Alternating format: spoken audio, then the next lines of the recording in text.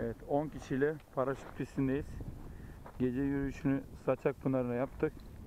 Saçak Pınar üstündeki kulübeye gittik. Oradan sobamızı yaktık, ısındık. Yemeğimizi yedikten sonra geriye döndük. Zeyniler yolundan paraşüt pistine çıktık.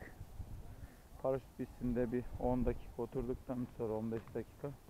Şimdi Bursa'ya ineceğiz. İşte şehrin ışıklarını görüyorsunuz. 2,5 milyon insanın yaşadığı bu ışıklar.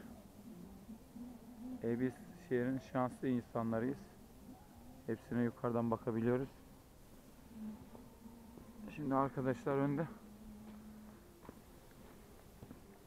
Ben arkadan gidiyorum. 850 metre civarında paraşüt pistinin koordinatı. 500 metre civarında bir iniş yapacağız. Sanırım bir buçuk saat gibi ineriz. Su yolunda inşallah delik olan yerlere düşmeyiz. İşte delik olan yerler derken şunları kastediyoruz.